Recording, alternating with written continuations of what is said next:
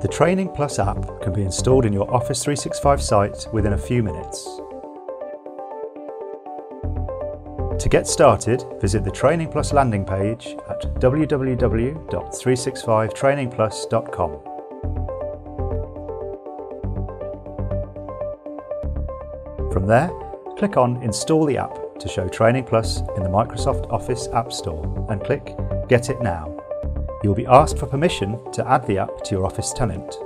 Click Continue. You will then be taken to the Azure AD sign-in page. Click Authorize. If you're not already logged into Office 365, you'll do that now. And then be asked to confirm that you'd like to add the app. Click Accept. Next, launch the Azure portal at portal.azure.com. From your home page, open the Azure Active Directory and click on Groups.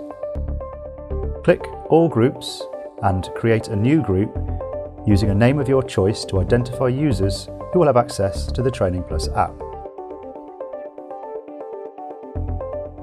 Set the group type to security and membership type to assigned.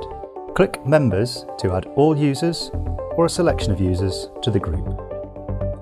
To confirm your selection, click Select and finally Create to finish creating your group. Now, return to the Azure Active Directory and this time select Enterprise Applications. Click on All Applications and select All Applications from the drop-down at the top of the screen and click Apply.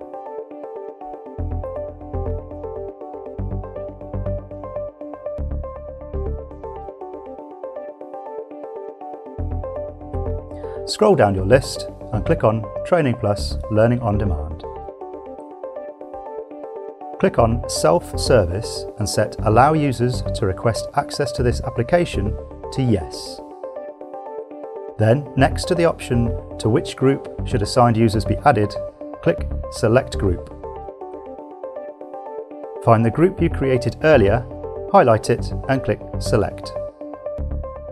Now save the changes and check that the updates have been successful. These changes may take a few minutes to complete behind the scenes, but that's it. Whenever you need training or guidance on an Office 365 application, click the Training Plus app and choose your topic. If you haven't purchased a license yet, you'll be given access to the sample content. To get your license now and access the full range of training videos, visit www.365trainingplus.com and click Buy It Now.